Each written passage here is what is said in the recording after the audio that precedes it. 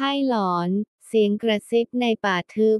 ณ ป่าทึบอันห่างไกลจากชุมชนมีค่ายพักแรมร้างแห่งหนึ่งตั้งอยู่ บรรยากาศอึมครึมปกคลุมไปด้วยความเงียบงัน เต็มไปด้วยเรื่องเล่าขานอันน่ากลัว เกี่ยวกับวิญญาณเร่ร่อนที่สิงสถิตอยู่ กลุ่มนักเรียนมัธยมปลายกลุ่มหนึ่งตัดสินใจท้าทายความกล้าหาญด้วยการไปตั้งค่ายพักแรมในสถานที่แห่งนี้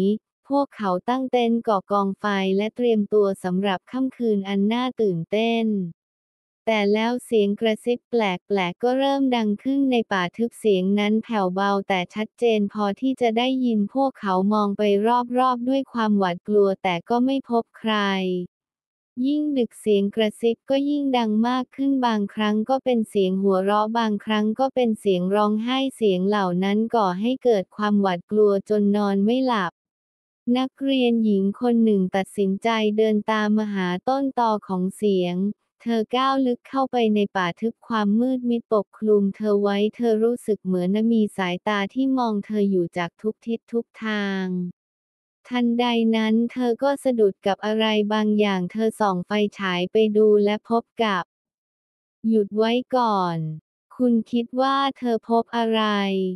อยากรู้ต่อไหม บอกฉันมาว่าคุณอยากฟังต่อ ผู้ใช้ตอบกลับ โอเคงั้นมาต่อกันเลย หญิงสาวพบกับรูปปั้นหินเก่าแก่รูปปั้นนั้นมีรอยยิ้มที่น่ากลัว และดวงตาที่โบเบยอเธอรู้สึกถึงพลังงานชั่วร้ายที่แผ่ออกมาจากรูปปั้นนั้น ด้วยความกลัวเธอรีบวิ่งกลับไปยังค่ายพักแรม และเล่าเรื่องที่เกิดขึ้นให้เพื่อนเพื่อนฟัง ทุกคนต่างหวาดกลัวพวกเขาตัดสินใจเก็บเต็นท์และออกเดินทางจากค่ายนั้นในเช้าวันรุ่งขึ้น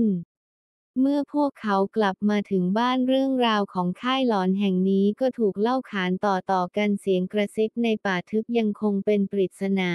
ไม่มีใครรู้ว่ามันมาจากไหนหรือว่าต้องการอะไร